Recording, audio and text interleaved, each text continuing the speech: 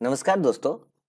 मैंने बहुत पहले मैकेनिकल सील, बेसिक्स और उसके टाइप्स के ऊपर दो वीडियो बनाए थे करीब करीब दो तीन साल पहले। वीडियोज़ लोगों ने बहुत पसंद किए थे और कंटिन्यूसली कमेंट आते रहे थे कि मैकेनिकल सील फ्लशिंग प्लान की भी वीडियो बनाए जाए। मैंने मैकेनिकल सील फ्लशिंग प्लान के भी वीडियो बनाए थे करीब करीब साल भर पहले और उस वीडियोस को भी लोगों ने पसंद किया था, बट अनफॉर्चुनेटली वो वीडियोस यूट्यूब से डिलीट हो गया क्योंकि उसमें कॉपीराइट स्ट्राइक आ गया था। मैंने कुछ डायग्राम्स लिए थे डिफरेंट वेबसाइट से, जो अवेलेबल है बट उन लोगों ने कॉपीराइट स्ट्राइक दे दिया तो वो वीडियो डिलीट हो गया। अब कंटिन्यूसली कमेंट आते रहते कि वो वीडियोस दोबारा अपलोड कर दिया जाए, लेकिन चूँकि पहले ही उस वीडियोस में कॉपीराइट स्ट्राइक आया था तो उसको दोबारा अपलोड करने का कोई मतलब बनता नहीं था। इसी बीच, मेरे सिकंदर नाम के जो हमारे एक व्यूअर हैं, उनसे मेरी बातचीत हुई थी। मैंने उनसे रिक्वेस्ट किया था कि अगर ये डायग्राम्स जो है ना, अगर आप बना देते हैं तो मैं इस मैकेनिकल सील फ्लशिंग प्लान को वीडियोस को दोबारा अपलोड कर सकता हूँ। तो उन्होंने मेरा रिक्वेस्ट एक्सेप्ट किया और उन्होंने डायग्राम बनाया, उनकी ड्राइंग अच्छी थी। तो फिर से उनके डायग्राम की हेल्प से इस वीडियोज़ को फिर से अपलोड कर रहा हूँ, मैकेनिकल सील फ्लशिंग प्लान का। मैं आपसे रिक्वेस्ट करता हूँ कि अगर आपको वीडियो पसंद आए तो आप लोग ज़रूर उनको अप्रिशिएट कीजिएगा, क्योंकि उन्होंने निस्वार्थ भाव से ये सारे डायग्राम बनाए हैं और डायग्राम बना करके हम मुझे सेंड किया है बिना किसी चार्ज के। तो दूसरी बात यह है कि वो खुद अभी जॉब कर रहे हैं तो ऐसा भी नहीं है कि मेरे से जॉब में कुछ उनको हेल्प होने वाली थी, इसलिए उन्होंने बनाया है।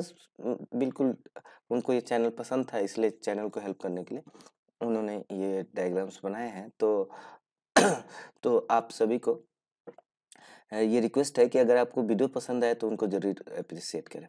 Anyway mechanical seal flushing plant का जो अंडरस्टैंडिंग है ना one of the most important understanding है अगर आप रिफाइनरीज में काम कर रहे हैं या पेट्रोकेमिकल में काम कर रहे हैं, क्योंकि ये डे टू डे लाइफ में काम में आता है।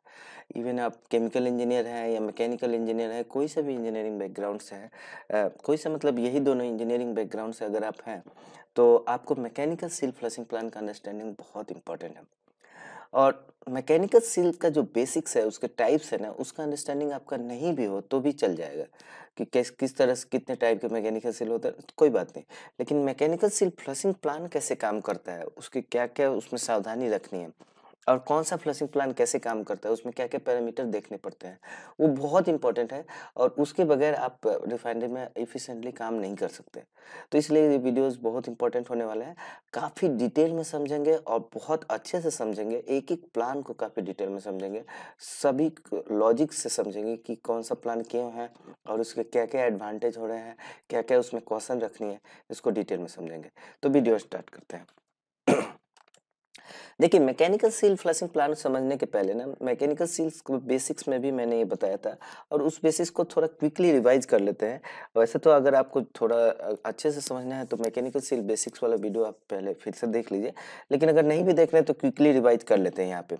यहाँ पे देखिए, कोई भी मैकेनिकल सील होता है ना तो उसके दो पार्ट होते हैं। जैसे ये वाला जो पार्ट है ना, ये पार्ट ये इसका रोटरी पार्ट है और ये वाला जो पार्ट है, ये इसका स्टेशनरी पार्ट है। तो अब ये ये जो पैटर्न है ये सब सील चैम्बर है और यहाँ पे जो साफ्ट और सील चैम्बर के बीच में जो क्लियरेंस है, ये जो क्लियरेंस दिख रहा है ना, इसको थ्रोट बूस्ट बोलते हैं, ठीक है? तो ये चीज़ है और ये जो सील दोनों सील के नीचे वाला जो ये पार्ट है, ये एटमोस्फेयर साइड में है। मतलब ये सील चैम्बर इस साइड है और ये बाहर एटमोस्फेरिक साइड है। तो ये चीज़ें एक बेसिक अंडरस्टैंडिंग है।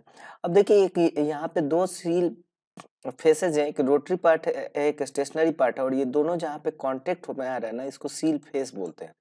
दो पार्ट है ना, रोटरी पार्ट और स्टेशनरी पार्ट, जहाँ पे कांटेक्ट में आ रहा है, उसको सील फेस बोलते हैं।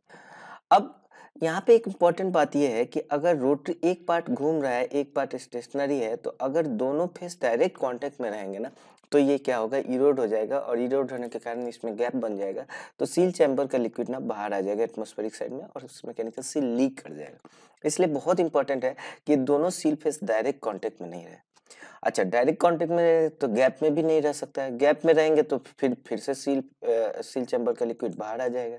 तो इसलिए इंपॉर्टेंट है कि ये दोनों फेस डायरेक्ट कांटेक्ट में भी नहीं रहे और गैप भी नहीं रहे। इसलिए ये दोनों सील फेस के बीच में एक लुब्रिकेशन रहता है लुब्रिकेटिंग ऑयल जाता है।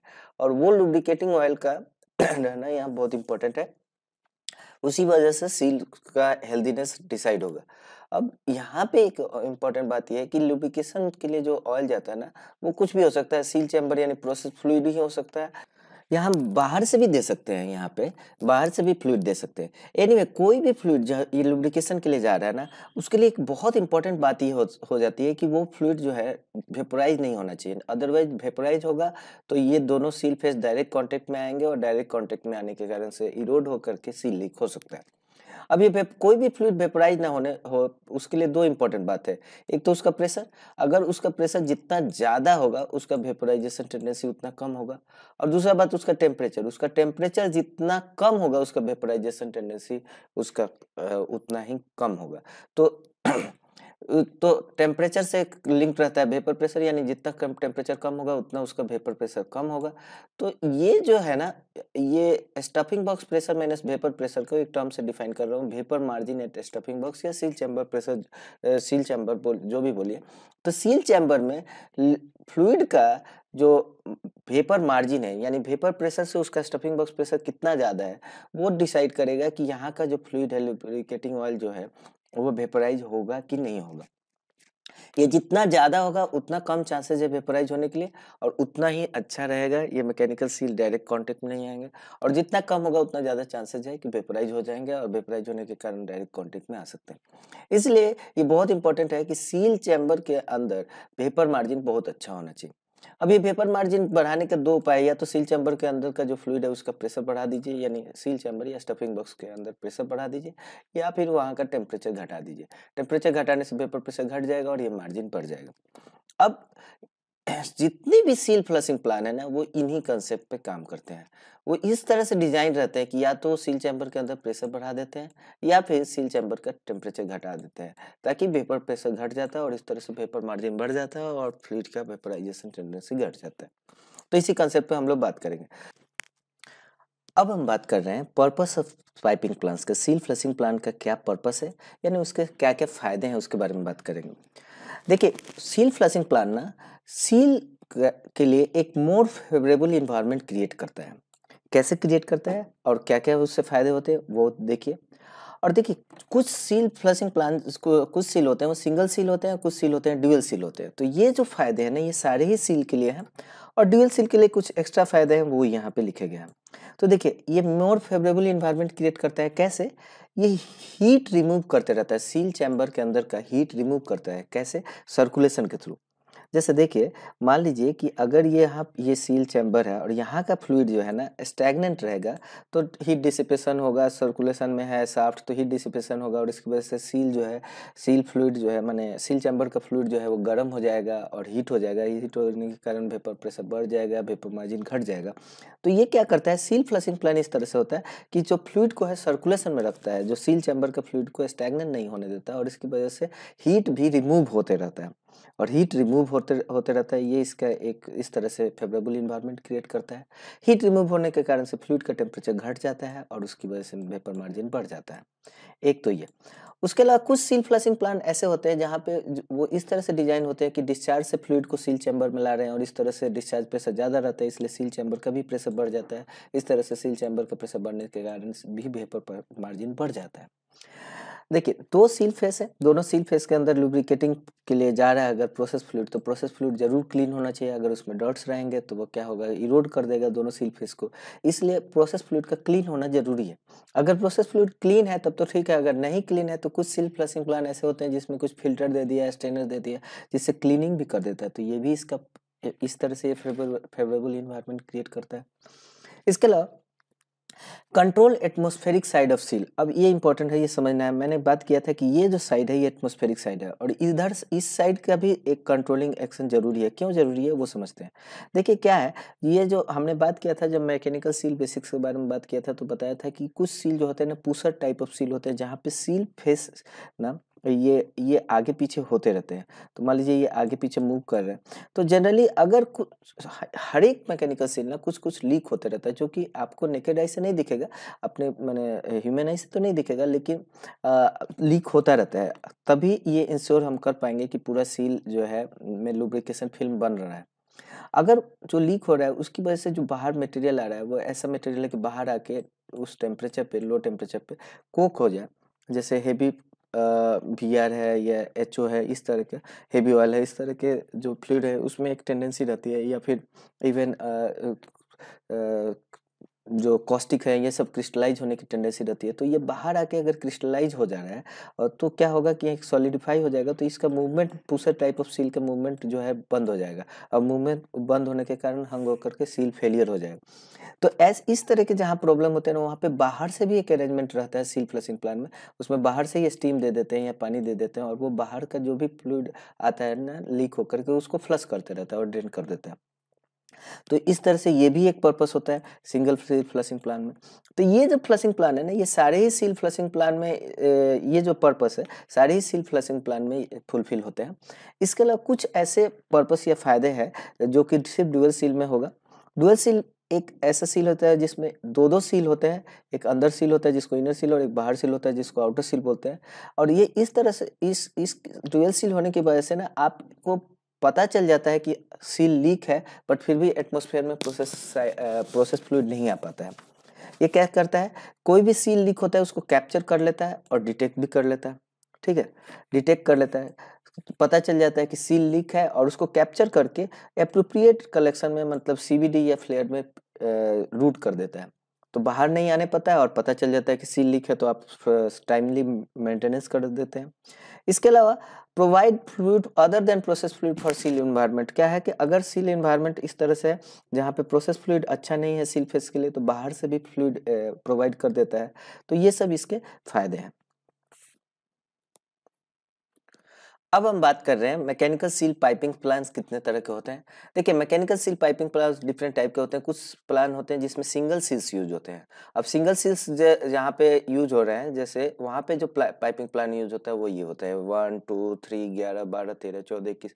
सभी के बारे में डिटेल में बात करेंगे, सभी का अरेंजमेंट थोड़ा थोड़ा अलग होता है और अलग अलग पर्पज के लिए यूज़ होता है।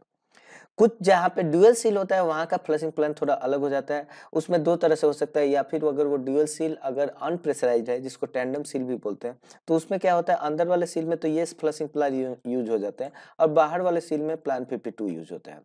या फिर कुछ ऐसे सील होते हैं ड्यूअल सील जो प्रेशराइज ड्यूअल सील होते हैं, जिसमें कि दोनों सील में बाहर से फ्लूड जाता है उसमें प्लान 53 एबीसी या प्लान 54 इस तरह के सील फ्लशिंग प्लान यूज़ होते हैं। एटमोस्फेरिक साइड में जो सील होता है उसके लिए अलग प्लान होता है जिसके मैंने अभी कुछ देर पहले बात भी किया था जैसे प्लान 62 है अदर टाइप के भी सील प्लसिंग प्लान है। और कुछ सील प्लसिंग प्लान होते हैं जहाँ पे लिक्विड ना यूज़ होकर के गैस यूज़ होता है ड्राई गैस यूज़ होता है।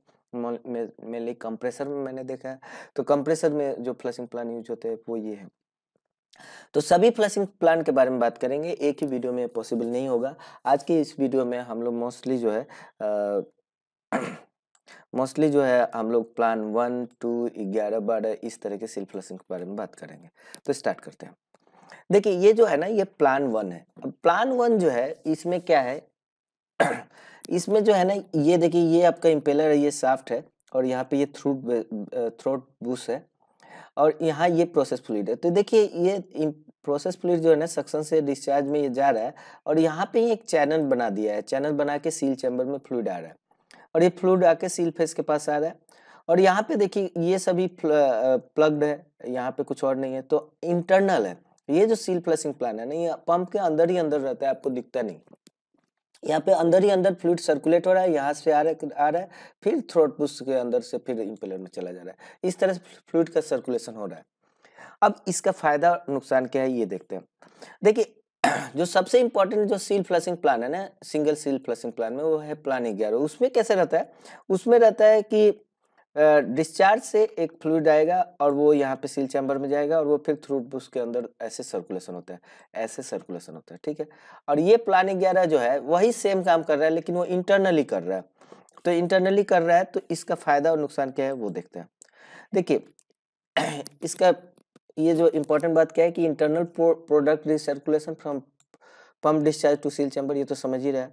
अब इसमें फ़ायदा क्या हो जाता है कि ये जो फ्रीजिंग और पोलीमराइजेशन का रिस्क इसमें कम हो जाता है, क्यों? जैसे पंप जो चल रहा है ना, चल रहा है तब तो ठीक है, जब बंद हो जाता है ना तो अगर बाहर से लाइन है और ऐसा फ्लूड है जो कि ठंडा होने पर पोलिमराइज हो जाए या फ्रीज हो जाए तो उसमें दिक्कत आती है कि अगर बाहर से लाइन है, जैसे प्लान नहीं किया रहा तो वो फ्रीज हो जाएगा तो फिर बाद में सर्कुलेशन बंद हो जाएगा। इसमें क्या है, ये अंदर ही अंदर रहता है और पंप अगर वार्म अप में है तो ये सफिशेंटली इतना गर्म रहता है कि फ्लू इसके अंदर का फ्रीज नहीं हो पाए। तो ये इसका फ़ायदा है। तो यहाँ पे यही लिखा है minimises risk of freezing polymerisation of fluid in flush piping plan expose to atmosphere मतलब कंपेयर टू प्लान 11 से ये फ़ायदा है। दूसरा ये है कि हीट रिमूव तो होगा ही, क्योंकि सर्कुलेशन हो रहा है। और एक तीसरा पॉइंट है कि ये सेल्फ वेंटिंग है हॉरिजेंटल पंप में। अब ये पॉइंट है, थोड़ा इसको समझते हैं। देखिए, कोई भी पंप है ना, अगर वर्कशॉप में जा रहा है मेंटेनेंस में जा रहा है तो वर्कशॉप से जब वापस आता है प्लांट में तो उसके इम्पेलर के अंदर एयर भरा रहता है, उस एयर को निकालना पड़ता है और उसको हम लोग प्राइमिंग या वेंटिंग भी कहते हैं। अब ये प्राइमिंग करने के लिए ना जनरली पंप के केसिंग के ऊपर एक वेंट लाइन होता है, ठीक है?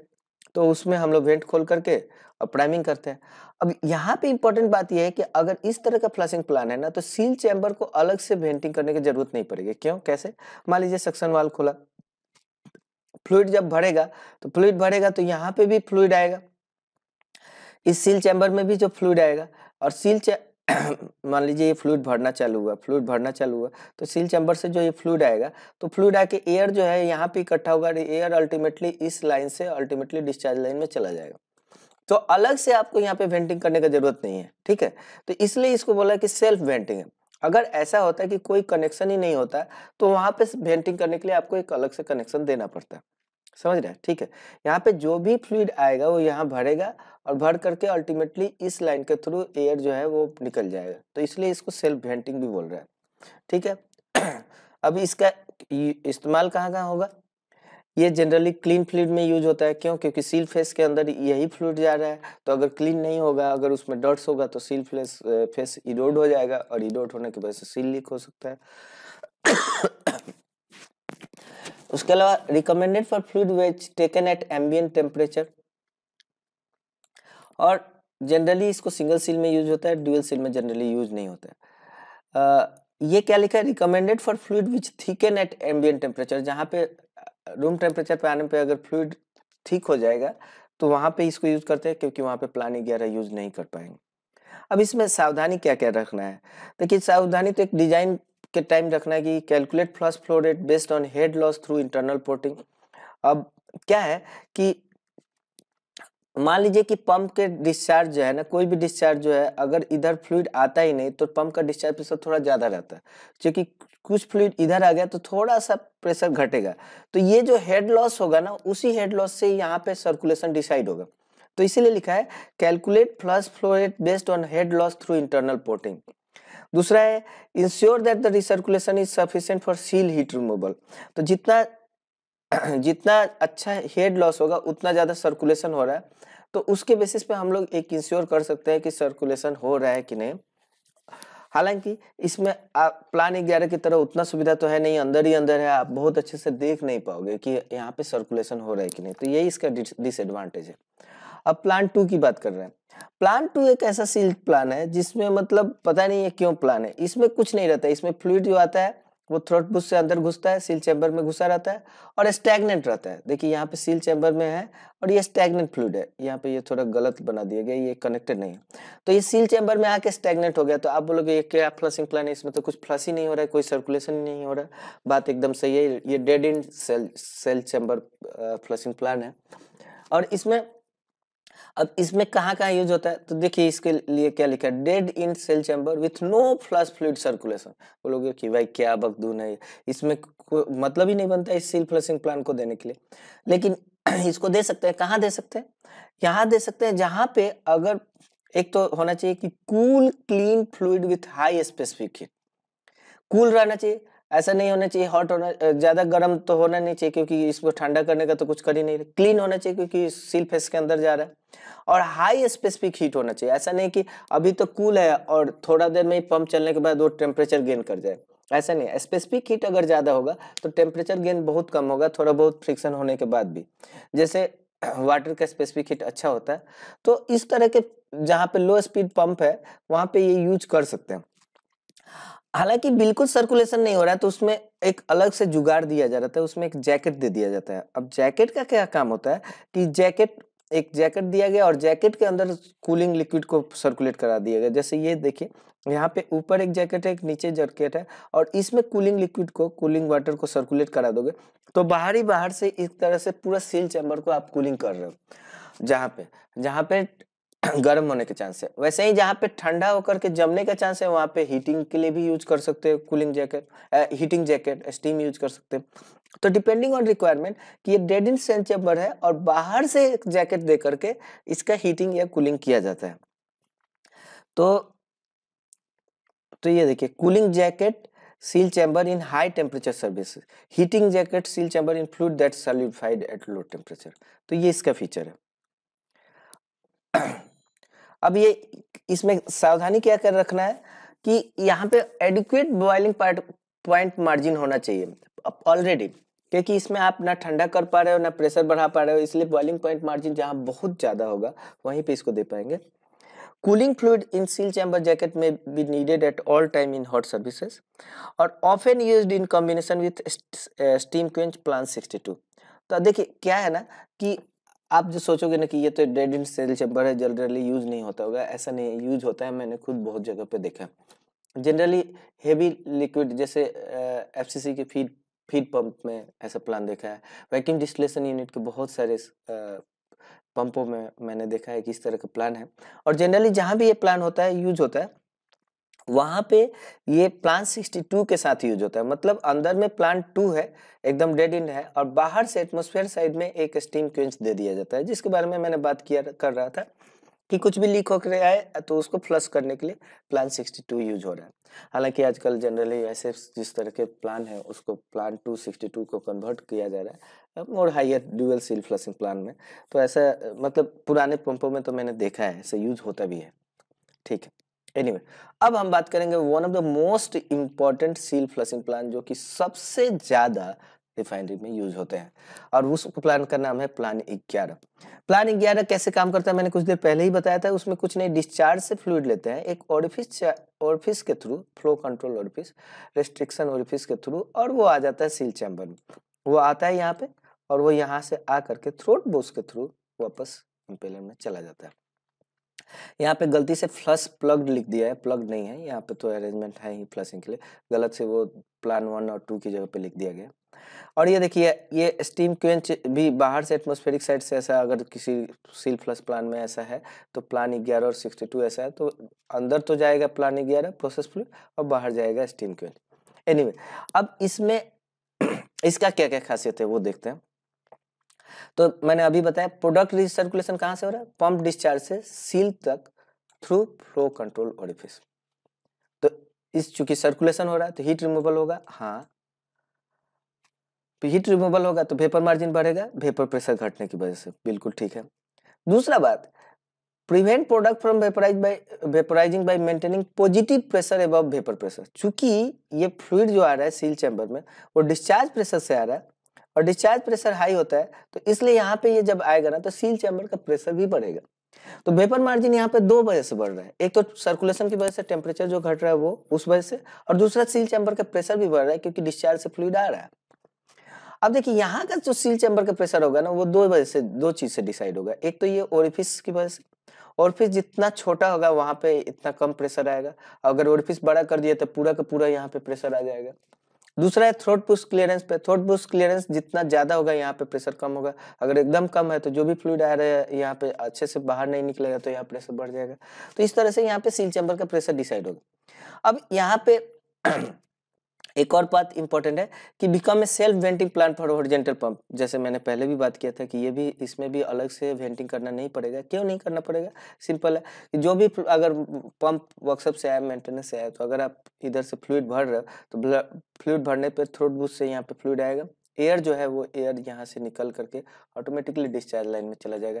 तो इस सील चैम्बर को अलग से भेंट करने का ज़रूरत नहीं पड़ेगा। जबकि आप इस फ्लशिंग प्लान की बात करो तो इस फ्लशिंग प्लान में यहाँ पे एक वेंटिंग का रिक्वायरमेंट होगा। इसलिए ये जो देखिए ना ये जो है ना ये वेंटिंग के वेंटिंग है। क्योंकि देखिए यहाँ पे जो भी फ्लूड आएगा ना वो यहाँ पे एयर यहीं पे इकट्ठा हो जाएगा। एयर को बाहर जाने का कोई और तरीका नहीं है तो इधर से भी आपको वेंटिंग करना पड़ सकता है। जनरली इसमें एक वेंट लाइन भी रहता है। एनीवे anyway, अब इसमें देखिए इसके बाद ये जो लिखा है कि default API plan for most single seal ये सबसे ज़्यादा यूज़ होता है और मैंने तो बहुत जगह पे इसको देखा है। सिंगल सील अरेंजमेंट में भी देखा है और डबल सील अरेंजमेंट में भी देखा है। मतलब अगर सिर्फ़ सिंगल सील है, जैसे डीएम वाटर का पंप है कॉस्टिक पंप है तो वहाँ पे प्लानिंग ग्यारह with sixty two flushing plan atmospheric side sixty two और अंदर सील में। प्लान ग्यारह देखा है। और ऐसे भी जगह पे यूज़ हो रहा है जहाँ पे ड्यूअल सील होता है। ड्यूअल सील मतलब दो सील होता है तो वहाँ पे प्लान ग्यारह अंदर के सील में यूज़ होता है और बाहर में प्लान फिफ्टी टू यूज़ होता है, जहाँ पे एक सील पोर्ट दे करके और डिफरेंट मैंने बाहर का कोई फ्लूड बाहर के सील में देते हैं। ठीक है तो ये दूसरा ये है कि ये नॉन पोलिमराइजिंग फ्लूड होना चाहिए, जहाँ पे विथ मॉडरेट टेम्परेचर वहाँ पे यूज़ होना चाहिए। ऐसा नहीं है कि आप बहुत हाई टेम्परेचर पे यूज़ कर रहे हैं और पंप जब बंद हो रहा है तो फ्लूड ही पोलिमराइज हो जा रहा है। तो पोलिमराइज होगा तो क्या होगा? ये ओरिफिस क्लॉग हो जाएगा। ओरिफिस क्लॉग हो जाएगा तो फिर ये पूरा फ्लशिंग प्लान ही बर्बाद हो जाएगा। इस फ्लशिंग प्लान में सबसे बड़ा इंपॉर्टेंट क्वेश्चन क्या है कि ये ओरिफिस जो है ना क्लॉग नहीं होना चाहिए। यही सबसे बड़ा दिक्कत आता है कि ओरिफिस ही चोक हो गया। अब ओरिफिस चोक हो जाएगा तो बिल्कुल सर्कुलेशन नहीं हो रहा है, ये पूरा फ्लशिंग प्लान बर्बाद हो जाएगा। इसीलिए यहाँ पे लिखा है कि मिनिमम थ्री एम का तो डायमीटर का ओरिफिस तो होना ही चाहिए। इससे छोटा यूज़ करोगे तो क्लॉग होने के चांसेस ज़्यादा होगा। दूसरा बात ये है, लेकिन इसमें एक फ़ायदा क्या है ना कि आप इस इस प्लान को देख करके, जैसे प्लान ग्यारह में, आप देख करके बता सकते हो कि ये लाइन थ्रू है कि नहीं? क्योंकि आप इस लाइन को पकड़ोगे, अगर ये ठंडा है तो फिर इसका मतलब सर्कुलेशन नहीं हो रहा है। और अगर आप थ्रू अगर ये गर्म है तो इसका मतलब सर्कुलेशन हो रहा है। तो इसमें एक सुविधा है, जबकि प्लान वन में ये सुविधा नहीं है। प्लान वन में आपको ना अंदर ही अंदर आपको पता नहीं चलता है कि सर्कुलेशन हो रहा है कि नहीं हो रहा है। एनीवे और बात करते हैं। इसमें calculation of recirculation flow rate heat removal and orifice size required है कि ओरिफिस साइज़ इस तरह से डिज़ाइन होना चाहिए कि डिसाइड हो जाए कि जितना सर्कुलेशन चाहिए उतना हो रहा है कि नहीं हीट रिमूवल हो रहा है कि नहीं। अगर आप डिस्चार्ज प्रेशर और सील चैम्बर के बीच में मार्जिन अगर बहुत ज़्यादा है तो आपको ओरिफिस का साइज़ थोड़ा छोटा रखना पड़ेगा। अगर मार्जिन एकदम कम है, मान लीजिए डिस्चार्ज प्रेशर बहुत ज़्यादा नहीं है सील चैम्बर से तो आप ओरिफिस नहीं भी दो तो चलेगा, इस तरह से है, ठीक है तो इस तरह से check the margin between discharge pressure and seal chamber pressure to ensure proper flow of fluid उस तरह से ओरिफिस डिज़ाइन होता है। और इसके साथ साथ थ्रोट बुश का भी साइजिंग इस तरह से डिसाइड होता है कि वो सील चैम्बर का प्रेशर डिसाइड करें। तो आप समझ रहे ना इस तरह से ये ऑर्फिस चैम्बर का साइज़ जितना छोटा या बड़ा होगा, वो यहाँ का सील चैम्बर प्रेशर डिसाइड करेगा उसी तरह थ्रोट बुश क्लियरेंस भी डिसाइड करेगा। तो ये दोनों डिज़ाइन इस तरह से किया जाता है कि प्रॉपर सर्कुलेशन बनता, बना रहा और सील चैम्बर का प्रेशर बना रहा। अब ये प्लान के बारे में बात करें प्लान ट्वेल्व प्लान इलेवन जो है ना, ये सभी में हमने क्या बात की ये सारे जगह पे हमने ये बात किया था कि क्लीन फ्लूड के लिए यूज़ होना चाहिए, चाहे प्लान ग्यारह हो, चाहे प्लान वन हो, चाहे प्लान टू हो। क्योंकि सील फेस के अंदर यही प्रोसेस फ्लूड ही जा रहा है। अगर प्रोसेस फ्लूड जा रहा है और उसमें डर्ट्स है तो कंटेमिनेंट्स है तो क्या होगा? उस दोनों सील फेस के अंदर जा करके सील फेस को इरोड कर देगा और इरोड होने की वजह से सील लीक हो जाएगा। अगर आपका डर्टी फ्लूड है तो वहाँ पे ये सील फ्लसिंग प्लांट नहीं हो जाता। है जबकि प्लान टू में क्या किया है कि इसी ऑरिफिस के जस्ट पहले एक स्टेनर दे दिया है। तो स्टेनर देने की वजह से ना जो भी फ्लूड है उसका जो डर्ट है यहाँ पे स्टेनर में कंटेमिनेंट है स्टेनर रोक लेगा और यहाँ पे क्लीन होकर के फ्लूड सील चैम्बर के अंदर जा सकता है। तो इस तरह से प्लान ट्वेल्व यूज़ हो सकता है। आ, थोड़ा सा मॉडरेट डर्टी फ्लूड में भी। लेकिन इसमें एक दिक्कत यही है कि अगर स्ट्रेनर जाम हो जाएगा ना तो पूरा सर्कुलेशन बंद हो जाएगा। इसलिए ये ज़्यादा फ्रीक्वेंटली यूज़ नहीं होता है। मतलब जनरली मैंने देखा नहीं है प्लान ट्वेल्व को यूज़ होते हुए। हालाँकि अगर थोड़ा बहुत मॉडरेट डर्टी फ्लूड है तो वहाँ पे ज़रूर इसको यूज़ किया जा सकता है। वहाँ पे लेकिन फ्रिक्वेंटली इस स्ट्रेनर को क्लीन कराना भी पड़ेगा। तो एनीवे अभी इस वीडियो को हम यही स्टॉप कर रहे हैं। नेक्स्ट वीडियो में फर्दर आगे के फ्लशिंग प्लान के बारे में बात करेंगे। और उसके बाद सिंगल सील फ्लशिंग प्लान जब कंप्लीट हो जाएगा तो हम लोग ड्यूअल सील फ्लशिंग प्लान यानी प्लान 52, प्लान 53, एबीसी, प्लान 52, 54 के बारे में भी बात करेंगे। और फिर फाइनली हम लोग atmospheric seat side seal flushing plan plan 62 के बारे में बहुत डिटेल में बात करेंगे। तो आशा करता हूँ वीडियो आपको पसंद आया होगा। वीडियो पसंद आया होगा तो सेकेंड पार्ट के लिए ज़रूर कमेंट कीजिएगा। वीडियो देखने के लिए धन्यवाद।